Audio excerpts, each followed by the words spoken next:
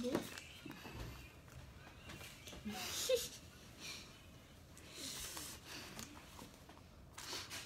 que esperar um pouco, né? É, espera só um minutinho o pessoal chegar. Oi, povo, tudo bem? Oi, tudo bem? Como vai? Oi, tudo bem? Como vai? Olá, boa noite! Seja bem-vindo, você que tá chegando. Oi, Carol. Olha a Clarinha, a tia Carol tá aqui, ó. Gente, eu tô entrando aqui rapidinho, só pra comentar com você. ah, eu subi a tribuna aqui na, na Assembleia Legislativa de Pernambuco.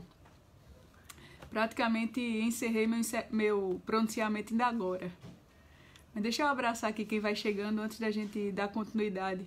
Rivaldo Fagundes, um abraço, querido Rivaldo. A Maria da Silva, Jaqueline Cordeiro.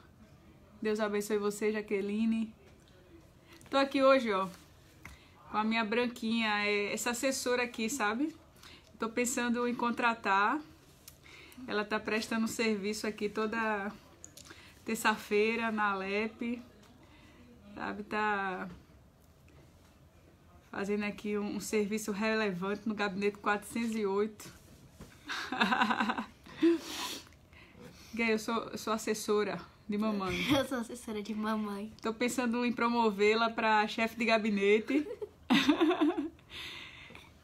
né? E tá aqui me dando essa força. Comigo, pegada, né? A gente trabalha e tem que envolver todo mundo. Família. Diga aqui, Clarinha, a minha família. É bênção do Senhor. Tá boa noite. Boa noite. Ninguém te escutou. Boa noite. Então, é, eu, eu quero ser breve, quero ser rápida, já abraçando a todos, Josi Cleide, Osana Martins, Alzira Lima, abraçando a todos e pedindo oração. Filha, senta ali um pouquinho, senão a mamãe não consegue se concentrar. Te amo. Ah, tu quer ver, é? Eu fico vendo. Então bota tua cadeira. Eita, não dá pra passar, Não, não. peraí, bota aqui. Ah, mas ninguém vai conseguir me ver. Então vamos lá. Deus abençoe você. Obrigada pelo carinho, Rogério Antônio. É, gente, primeiramente quero pedir a oração de todos.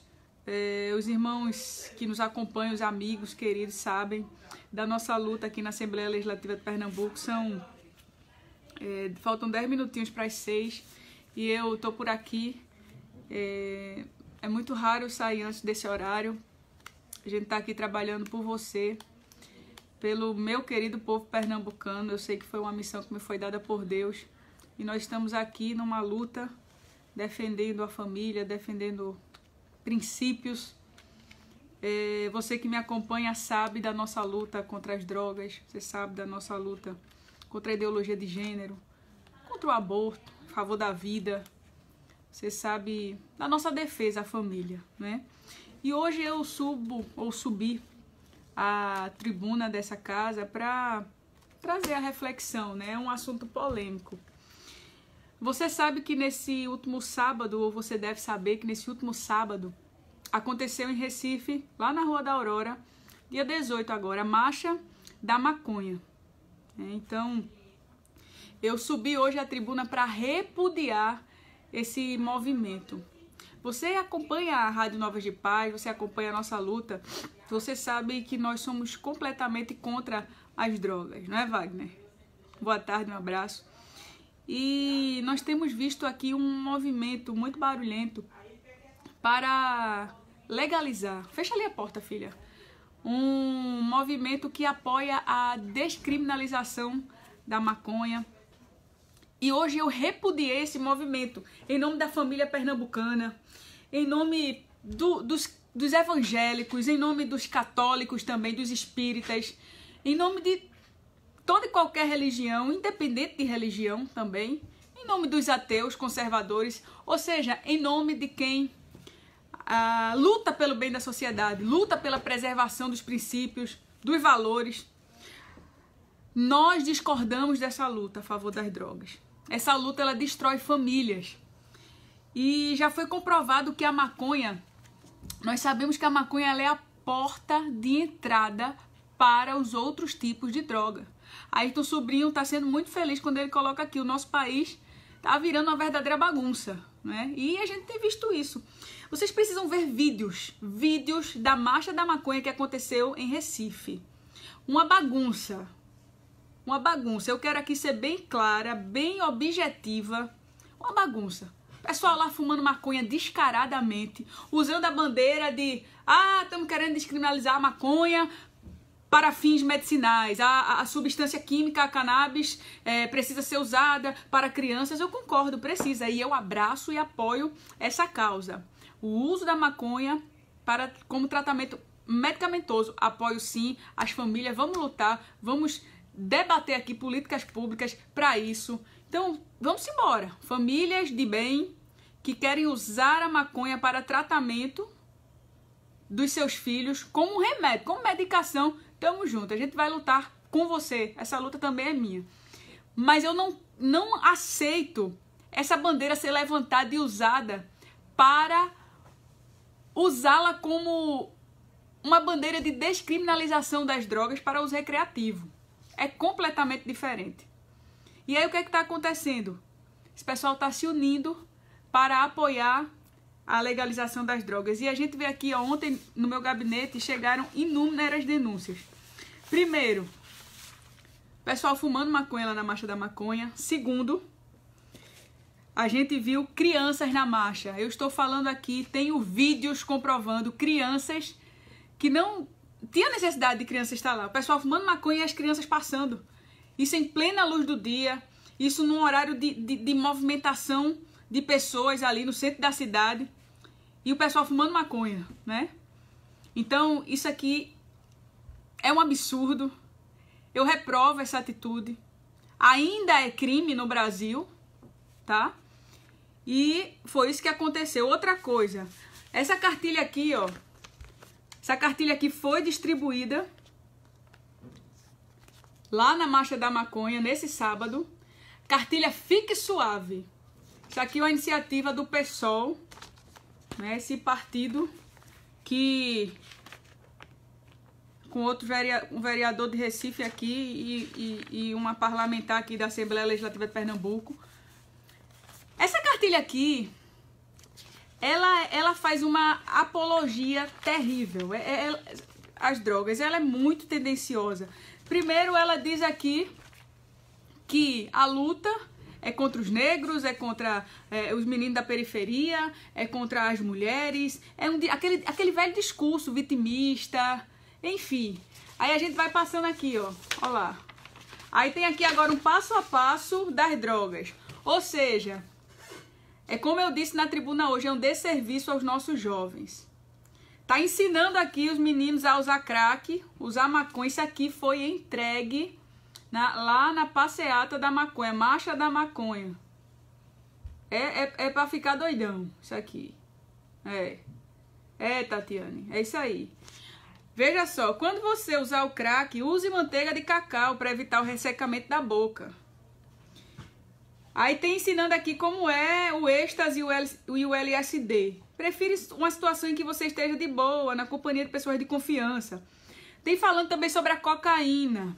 Gente, isso aqui é um passo a passo das drogas. A maconha. Ensinando também aqui o passo a passo para usar maconha e tal. Essa cartilha, eu repito, foi distribuída aqui na Marcha da Maconha no Recife. Se você é usuária ou usuário na hora da abordagem policial, como é que você deve se comportar? Você precisa conhecer seus direitos. Quem usa tem direito. Diga que você é usuário para você não ir para cadeia. Absurdo isso aqui, minha gente. Um absurdo. Olha só. Me chamou a atenção aqui, eu quero que você preste muita atenção. Você sabe que eu que nós, do Ministério Novas de Paz, temos um centro de recuperação. Não só eu, mas até aqui na Assembleia Legislativa também temos um representante dessa causa também, que é o deputado pastor Cleiton Collins, que também tem centro de recuperação. E olha que desrespeito aqui com os centros de recuperação do nosso estado. Aqui eles falam, você que precisa de ajuda, ou seja, primeiro eles incentivam, né? Use, use desse jeito, vamos diminuir os danos. Aí depois tá dizendo, Se você quiser procurar ajuda, você faz o seguinte: você vai no CAPS, você vai no PSF, você vai na UPA e tal, e procure ajuda. Lá, a galera tá preparada para te receber sem preconceito e disposta a ajudar. Sem essa de ficar trancado, fazendo trabalho forçado. Eles estão falando agora sobre os centros de recuperação.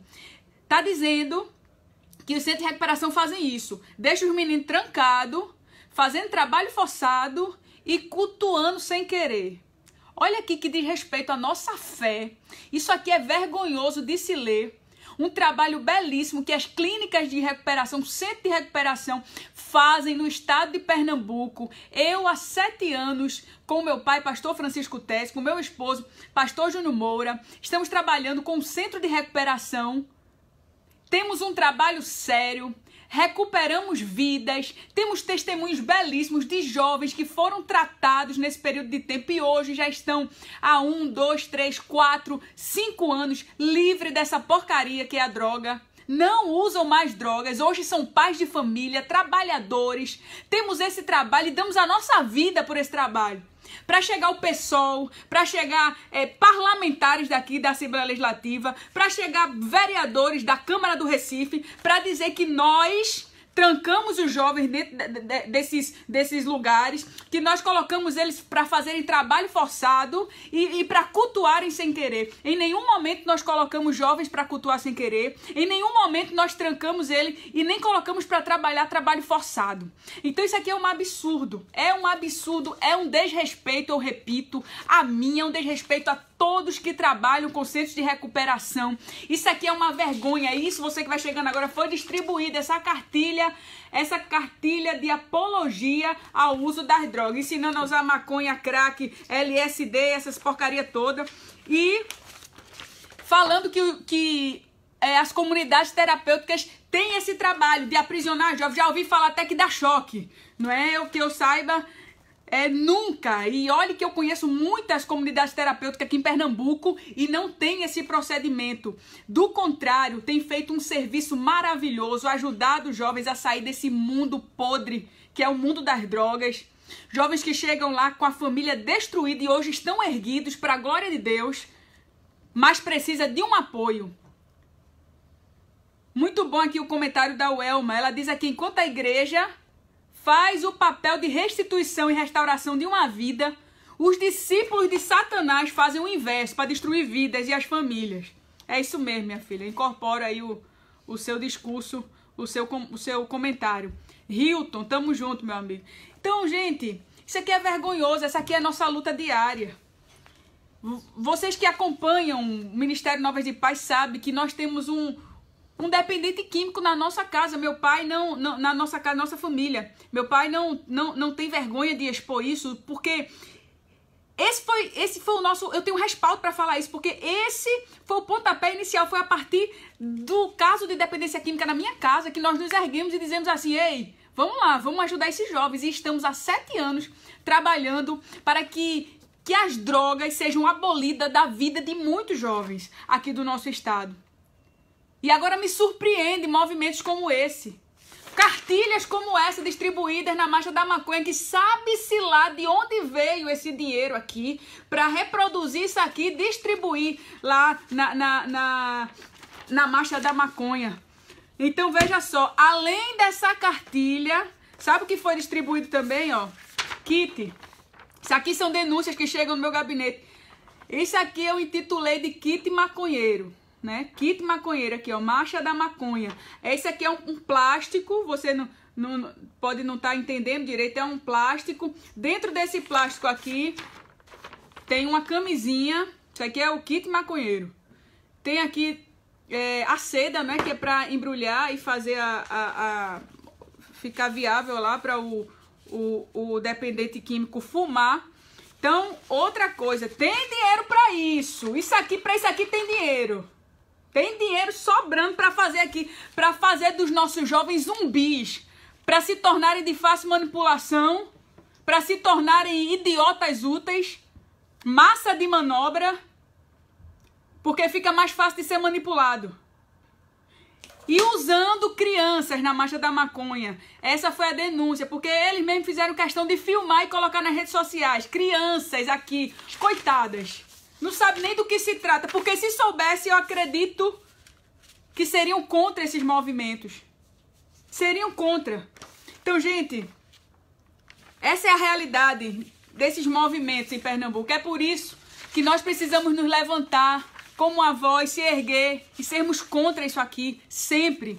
Peço oração de vocês, porque não é fácil combater isso aqui. Hoje foi uma verdadeira luta aqui na Assembleia Legislativa.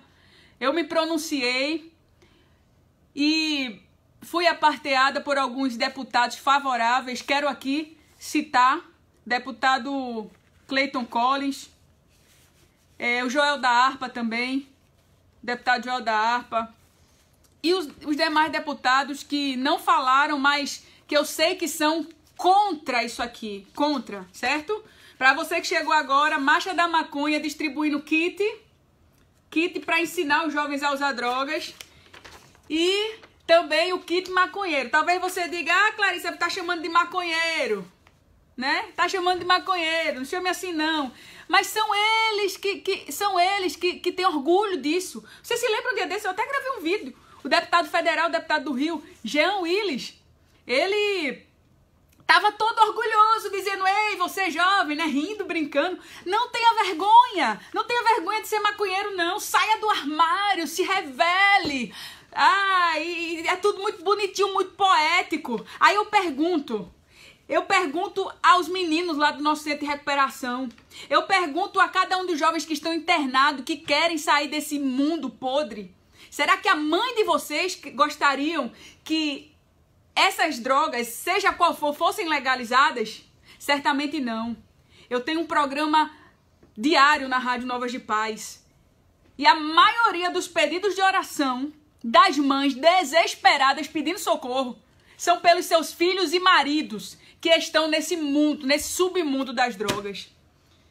E aí a gente vive lutando a irmãzinha Maria pega a sua ofertinha e mantém um centro de recuperação. Que é assim que nós vivemos. A irmãzinha mantém lá um centro de recuperação para quê? Para ajudar os meninos a sair desse mundo. Aí chega o pessoal para fazer uma porcaria dessa aqui. É revoltante. Eu não consigo conter, me perdoe você que chega agora e me vê assim. Eu não consigo conter a minha emoção ao falar desse assunto, porque é um, é um contra-ataque. É a gente lutando de um lado e esse povo aqui lutando de outro. Ainda tem alguns tipos de crentes desinformados que vivem dizendo assim: crente não pode se envolver em política. Pelo amor de Deus, crente não pode se envolver em política, crente deve se envolver em política. Crente tem que se envolver com política. Para lutar contra isso aqui, ó. Eu nunca pensei na minha vida estar aqui sentada num birô, na atrás de um birô, num gabinete, dentro dessa casa aqui. Nunca pensei. Mas Deus me colocou aqui. E aqui eu estou expondo a, a, a, minha a defesa não é da minha fé. Não é da minha fé apenas, porque também envolve a minha fé. Mas não é da minha fé apenas, é a defesa de jovens que estão morrendo, que estão se tornando zumbis. Olha aqui, deixa eu ler aqui um negócio para você. Tem aqui uma reportagem, jornalista do Diário de Pernambuco. Ele está falando lá na Rua Imperial, lá no bairro de São José. Você já deve ter observado ali que tem uma concentração de pessoas debaixo do viaduto. Aí a, a polícia, as entidades de ajuda ao usuário de droga nesse local, eles já falaram que ali é um local que existe uma concentração grande. E lá estava, sabe quem? Fernanda, nome fictício. Mãe de dois filhos, desempregada e com 37 anos, usuária de drogas. Aí o repórter do, do Diário de Pernambuco perguntou: quanto tempo você está usando crack? Ela diz aqui: faz dois anos que eu fumei o crack pela primeira vez e eu fiquei viciada muito rápido. A gente sabe que é assim, é rapidinho. Aí pergunta ela: como é que você consegue dinheiro para comprar droga? Ela diz: eu faço programas sexuais. É assim que querem ver os nossos jovens.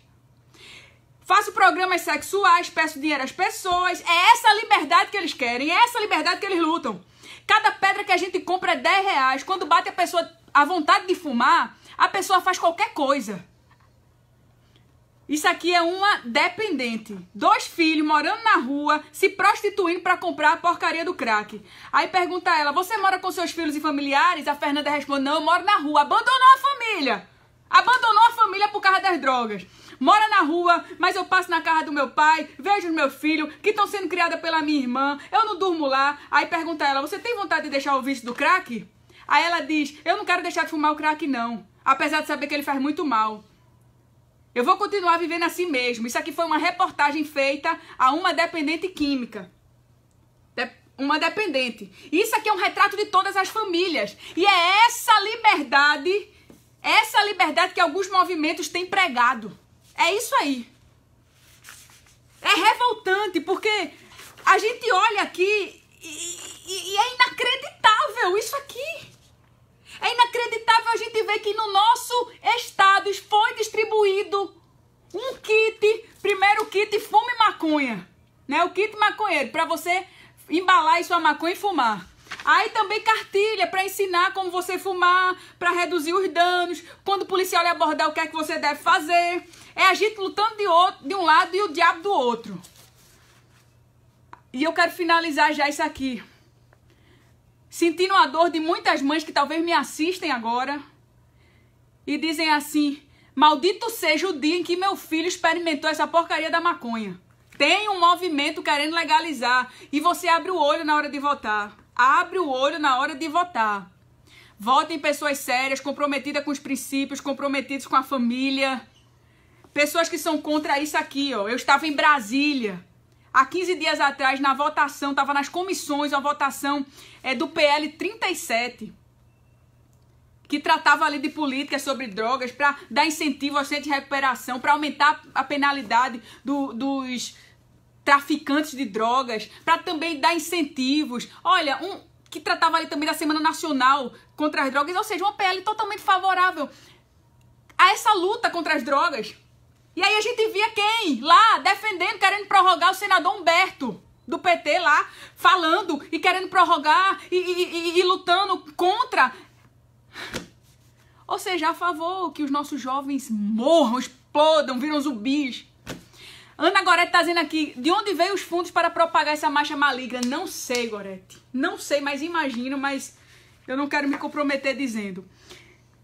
Veja só, eles usam um argumento. Esse argumento para a liberação do uso das drogas é que, artigo 5 da Constituição, todos são iguais perante a lei, sem distinção de qualquer natureza. Eles pregam a liberdade, a igualdade, tal. Mas olha, nós devemos atentar para isso aqui. O direito, certo? Preste bem atenção no que eu vou dizer agora. O direito de um indivíduo não pode se sobrepor ao direito co coletivo. Ou seja, Tá um coletivo aqui, tá o povo, a sociedade. O direito de uma pessoa não pode se sobrepor ao direito do coletivo. Gente, isso aqui é sério. Deixa eu explicar aqui. Quando o usuário tá lá usando a droga, querem dizer que é um direito dele, ok? É um direito dele. Se, se o cara ficasse lá fumando dentro do quarto a vida dele inteira, era uma coisa trancado ali. Mas não, o cara fuma. E ele sai de casa para roubar. Ele sai de casa para assaltar. Ele sai de casa para buscar recursos. Por quê? Porque ele tá viciado, ele quer comprar droga. Ele tá doente. E aí ele precisa sair da casa dele, precisa adquirir a droga, e ele fica doidão e ele quer fazer tudo. Eu sei disso, eu trabalho há sete anos com clínica de recuperação.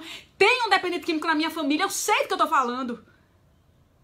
E aí eu não posso dar o direito a um indivíduo e, e esse direito dele não pode passar por cima do meu, porque eu também tenho a minha liberdade de sair na rua sem ser assaltada. Veja só, quando o usuário ele usa droga, ele não está se prejudicando sozinho, ele está prejudicando a família dele. Ele está prejudicando a esposa, ele está roubando as coisas dentro de casa. Chega relatos lá do pessoal lá no, no nosso centro de recuperação Novas de Paz, os meninos arrancam a bacia sanitária para vender.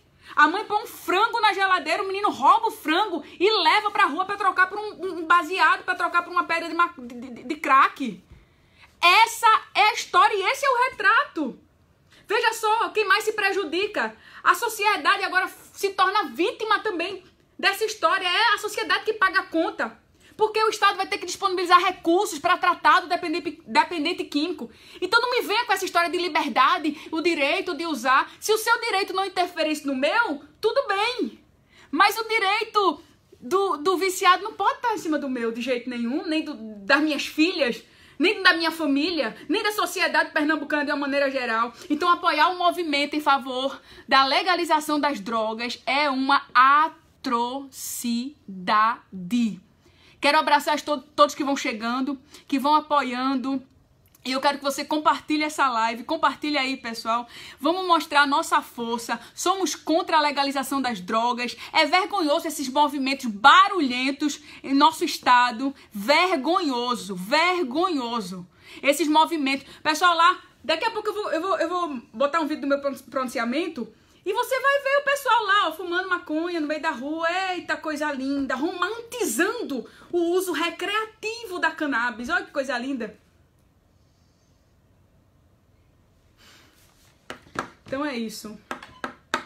O governo de Pernambuco registrou 4.170 vítimas de homicídio ao longo do ano de 2018. Cerca de 60% dessas mortes estão relacionadas ao tráfico de drogas, ou seja, 60% do povo que morre no nosso estado é por causa de droga. Querem legalizar. Então, eu já quero finalizar aqui essa live agradecendo vocês que me aguentaram até agora. E finalizar aqui finalizar, pedir oração mais uma vez. Orem por mim, me cubram de orações. Me cubram de orações. Tá certo? Eu peço aqui a cada um de vocês que vocês orem por mim. Essa luta é minha e é sua. Essa luta não é minha só não, é sua também. Sinta-se responsável. Você que votou em mim. Primeiro um beijo bem grande para você que votou em mim. Obrigada. Obrigada. Mas você que votou em mim. A culpa é sua também de eu estar aqui. Então venha-se embora e ore por mim, me ajude agora por orar, com oração. Se mim nessa causa, compartilhe esses vídeos, vamos lutar contra isso aqui. Obrigado, Ângela, pelo compartilhamento. Ezequiel Barbosa, patriota, colocando aí a bandeirinha do, a bandeirinha do Brasil.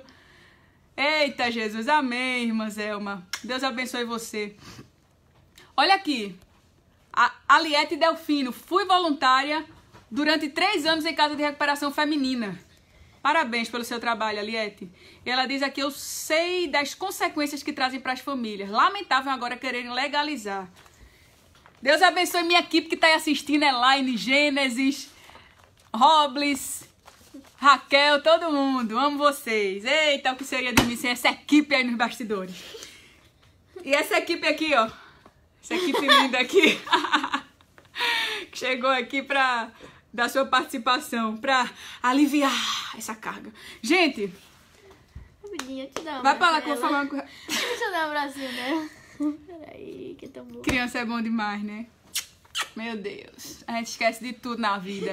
Neide, Deus abençoe você, meu amor. Erlane Campelo, obrigada. A liberação do uso das drogas tem dois objetivos, só pra gente finalizar. O primeiro é agradar uma classe egoísta e irresponsável que pretendem usar drogas sem repreensão ou penalidade. É o primeiro objetivo da legalização. O segundo objetivo, tornar pessoas inconscientes, viventes feitos zumbis, visando a fácil manipulação, das quais são exatamente essas pessoas que participaram da marcha da maconha. Sabe que são isso? São massa de manobra. Eu não estou falando aqui daqueles que foram com seus filhos, não é? Eu não concordo de levar criança, porque tinha muita gente fumando, eles mesmos postaram isso. Mas tinha uma luta legítima ali, bem pequena, de algumas mães que queriam realmente. E eu já me coloquei à disposição para a gente debater e a gente ver aí é, onde a gente pode chegar para que, já que a maconha ela tem sim um efeito sobre um efeito medicamentoso, a, a o princípio ativo, o cannabis, a, a substância química cannabis. Mas, porém, eu discordo, discordo disso ser uma bandeira para o uso recreativo. Tá bom? Então é isso aí, pessoal. É isso aí, eu quero deixar um abraço para vocês, agradecer a cada um dos meus eleitores, convidar também para estar conosco na no, no, próximo domingo, 14 horas. Tá bom? Eu sei que a mídia tem batido muito forte é, no nosso presidente. Ah, Clarissa, mas presidente fez isso, fez aquilo. Gente, o presidente não é perfeito, ok? Eu não sou. Um dia você vai olhar para mim e vai dizer: Eu acredito que Clarissa fez isso. Aí eu já quero pedir perdão. Porque eu nunca vou conseguir agradar todo mundo. Eu nunca vou conseguir agradar todo mundo. Sempre eu vou falar uma coisa que você vai, não vai gostar. Claro que o presidente ele é muito espontâneo, ele pode falar uma coisa que, que alguém não vai gostar. Aí por isso eu vou querer agora a destruição do meu país. Eu vou querer que a minha nação agora. Eu, eu vou querer que, que. Acabou. Não. Eu preciso continuar orando pela minha pátria. Eu preciso continuar apoiando o presidente da República, Jair Messias Bolsonaro. E domingo estaremos no ato de apoio, certo? Eu repito. Eu repito aqui, nunca conseguiremos agradar a todos. Eu sei que eu tenho minhas falhas e talvez o presidente tenha errado em algum, mas existe um princípio. E esse princípio ele é verdadeiro. Nós sabemos que o nosso presidente ele tem defendido uma causa. Ele é a favor da família, ele é contra essa porcaria aqui, ó, que foi distribuído sábado na marcha da maconha. O que é isso, Clarice? É seda aqui para ajudar os maconheiros a fumar maconha na marcha. Ele é contra isso, certo? Ele é contra a ideologia de gênero, ele é contra o aborto, certo? Ele é contra tudo o que nós cristãos defendemos. Ah, mas tem um, aí um escândalo de corrupção do filho dele e tal. Se o filho dele fez, ele precisa ser julgado. E se for encontrado realmente falha nele, ele precisa ser condenado. E eu estarei apoiando. Porque eu, eu não tenho bandido de estimação feito alguns que defendem o partido A, o partido B cegamente. Não. Eu olho, eu analiso. Então, pessoal, vamos ficar bem alerta, tá certo? Vamos ficar bem alerta. Sabemos que tem pouquíssimo tempo, pouquíssimo tempo ainda para a gente poder fazer uma análise do governo Bolsonaro. Porém, porém, tem tempo já para a gente saber que estamos no caminho certo. E aí eu já vou me despedindo porque já está na hora de jantar. Eu gostaria de continuar aqui com você. Pois é, Marcelo, foi o que eu acabei de dizer, meu amigo. Eu quero que ele seja julgado e condenado se for encontradas provas suficientes para isso. Porém, enquanto não for encontrado, né, a gente fica aqui aguardando e lutando para que a verdade prevaleça. Então, pessoal, dia é o dia mesmo. Agora, domingo. Já é a fome, os neurônios já não estão funcionando mais. Domingo agora, tá? Às 14 horas. Aguardo você lá. Vamos estar juntos, tá? Dia 26 do 5. Pastor Flávio Henrique, um abraço. João Pedro, um abraço. Eliane Cardoso, meu partido é o Brasil, meu também, Eliane. Marta Cruz, verdade. Edmilson Antônio. O problema do Bolsonaro são as pessoas que ele colocou do lado dele. Talvez. Gilvan Rodrigues, muito bem. Marcelo Lucena, nem ele vai para a manifestação. Seria bom, né? Se ele pudesse estar em todos os estados. Neide Fonseca, beijo, obrigada pelo carinho. Mira Silva também. Aqui na Avenida Paulista São Paulo vai bombar, muito bom. Uh, Marinês, Deus abençoe Bolsonaro. Adriana e Raquel, precisamos de um país de paz. É isso, gente, vamos lá. Deus abençoe a todos. Já mostrei aqui para quem chegou agora. Resumindo, né? Estive falando sobre a marcha da maconha e sobre o que foi distribuído lá, cartilhas, não sei com que dinheiro fizeram isso aqui, esse material, kit maconheiro. E é isso. Tchau, tchau, boa noite. Paz do Senhor para os crentes. Clarinha, vem dar tchau aqui. A minha família é bênção do Senhor. Uh! Tchau, tchau.